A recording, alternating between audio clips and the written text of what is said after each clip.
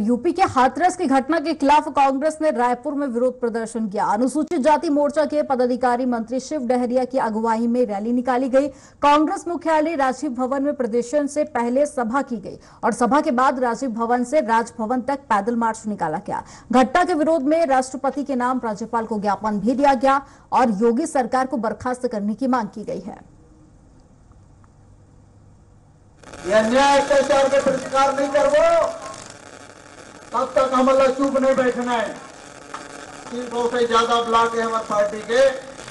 सब ब्लॉक में धरना प्रदर्शन के आयोजन कर, करेगी से।